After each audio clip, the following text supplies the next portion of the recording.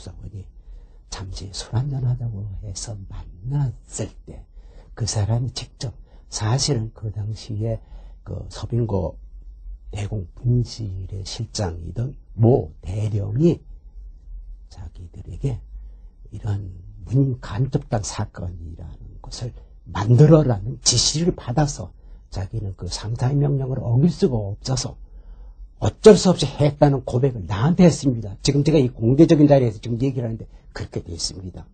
그런 사건이 터질 때마다 우리는 가슴이 철렁하죠. 어? 이건 이제 정말 한국서는 당분간 글이 되는 건 접어놔야겠구나, 절필을 해야겠구나, 더 이상 글은 쓸수 없구나 하는 생각까지, 절망적인 생각까지 갖고. 어, 분단이라고 하는 것이, 모 역대 정치 지배 세력들이 분단을 악용해서 어, 독재 정권을 유지하는 방편으로 써먹었다고요. 구체적으로 말하면 어, 너희들이 독재를 부정하고 저항한다면 김일성 도당이 밀고 내려와서 또 전쟁이 일어난다. 그러니까 가만히 있어라. 이것이 분단을 악용한 정치 행태였어요. 군사 독재라는 것이 그 힘이 분단이 있기 때문에 생기는 거예요. 예? 분단이 만약에 없다면 그 미친놈이지요. 미친 짓이지요. 분단이 이렇게 있으니까 그걸 벽으로 던지고 칼 빼도 총 쏘는 거 아닙니까? 70년대에는 이제 남북 공동 성명이 발표됐는데도 불구하고 우리는 함부로 그 좌익의 과거의 그 역사, 우익의 과거의 역사에 대해서 역사 진실을 밝힐 수가 없었습니다. 그러니까 이제 예를 들면 구체적으로 가령 우리 가족들이 우리 아버지가 어머니가 말이요 그 과거의 6.25 전 후 속에서 어떻게 잔인하게 학살을 당했는지 자식들은 더러 얘기를 들어 소문을 알지만 그걸 밝히려고 하는 사람들이 이게 한 사람의 문제가 아니라 그런 피해자 가족들이 많으니까 다 찾아다니면서 어, 소위 과거의 그것을 밝히려는 작업을 하자. 적어도 명예회복은 해야 되지 않는 그런 사람들이 또 체포돼서 그 사람들이 다 감옥에 가요. 주동자들은. 이제 그런 분위기니까 제한이 있을 수밖에. 여전히 많은 문인들이 이제 한계를 갖고 재갈이 완전히 풀린 게 아니라 여긴 건드리면 안 된다는 그 한계에서는 걷고지 살게 되는 것이죠. 우리 세대의 문인들은 다 자체 검열할 겁니다. 저도 마찬가지입니다. 생각난 대로 다 쓰지 않고 아예 보면은 이래 하면은 아 뭐 이거는 국가보안법 몇 조, 방호법 몇 조 생각하면서 그걸 이제 피해가는 글을 써야 되는 거죠. 예를 들면 용어 같은 것도 제국주의라는 용어를 저는 이 70년대 제가 쓴 글 중에는 아주 그 정말 들어가도 될 구절 아니고는 제국주의라는 단어를 안 썼어요. 좌익에 대해서 또는 빨치산들에 대해서 그들이 인간이라고 말하면 절대 안 되죠. 그들은 악마고 흡혈귀고 드라큘라라고 가르쳤으니까. 물론 군사 독재, 박정희 독재 나쁘다고 말할 수 없죠.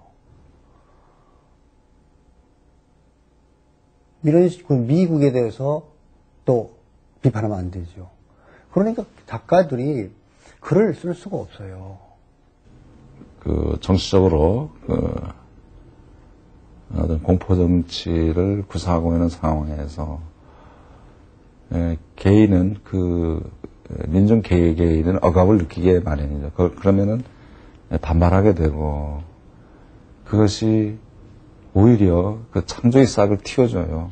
만약에 유신이 아니었으면은 저는 순수문학 길로 그냥 갔을 겁니다. 순수문학. 무시무시하고 억압적인 시대가 아니었으면 분단문학의 발걸음은 오히려 더 느려졌을지 모른다고 말하는 작가들. 그 말 속에는 우리 사회의 수많은 모순들, 또 민족이 겪는 고통과 비극의 원인이 바로 분단이며 민주화와 통일만이 그 모든 모순과 민족적 아픔을 씻어낼 수 있다는 뜻이 담겨 있습니다.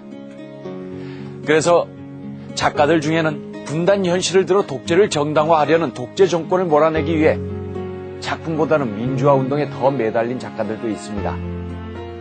어쩌면 분단된 조국의 현실이 문학 그 자체보다는 작가들의 뜨거운 피와 눈물을 원했는지 모르겠습니다. 그와 더불어 많은 작가들이 분단으로 인한 상처와 고통, 눈물과 한숨을 시줄과 날줄 삼아 분단 문학 작품들을 토해냈습니다.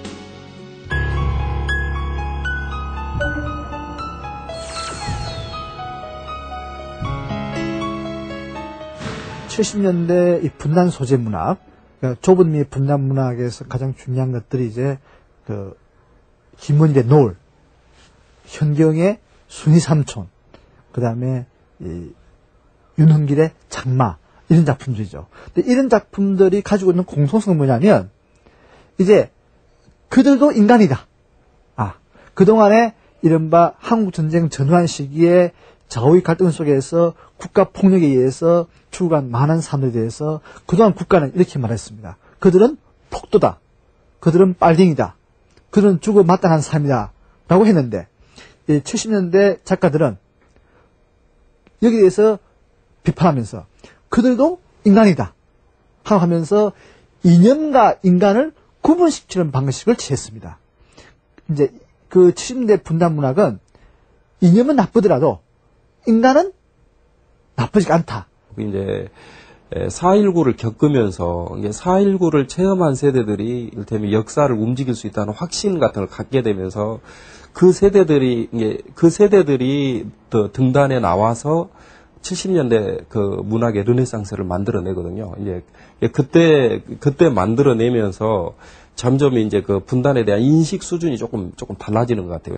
탈향, 내 부주노동 할 때 그 첫 작품 탈향은 고향 벗어나온 아픔, 예? 고향을 참 뭐냐 뭐 본의 아니게 고향 벗어나와서 그, 그, 뭐야 부주노동 하면서 그것도 넷이 우리 고향 사람들 넷이 하는 그런 고향 벗어나온 고향을 잃어버린 아픔이기 탈향이거든요. 탈향. 그런데 지금에 와서는 남북관계가 자꾸 진전되잖아요. 만약 7.4공동 성명, 72년 7.4공동 성명 때는 그땐 또 나대로 거기에 맞는 이단자 사라든지 이런 걸 썼어요. 그때에 말하자면 적시자 회담이 되고 남북 관계가 그만큼 이제 아, 여기 말하자면 벌어질 때 말하자면 나로서 또 쓸거리가 생기잖아요. 분단의 모순이 만들어낸 독재 정권들은 작품의 소재는 물론이고 등장인물의 대사까지도 문제 삼았습니다. 야만적인 정권은 작품이